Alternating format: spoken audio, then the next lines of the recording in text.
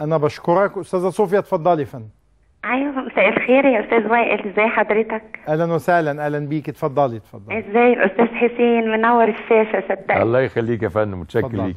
إزيك؟ والله وحشنا كتير. ميرسي أشكرك. آه أنت ش- شايفاك كده بتقرب من شخصيتي كتير يا أستاذ حسين. صدقني. وأنا أنا شخصية برضه مش عادية يعني. آه مشهورة كتير. وحبوبة كتير وبدور على عريس بمواصفاتك كده.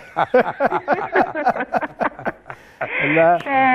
هقول هقول تاني زي ما قلت الاثنين ليمون تاني يا ابني في. آه ده ده برنامج مش مأذون يا أستاذة صوفيا أول ما نقلب مأذون آه طيب عايزة تقولي حاجة للأستاذ حسين؟ مهمة أيوة طبعا أنا عايزة أرتبط بالأستاذ حسين. بس آه. آه.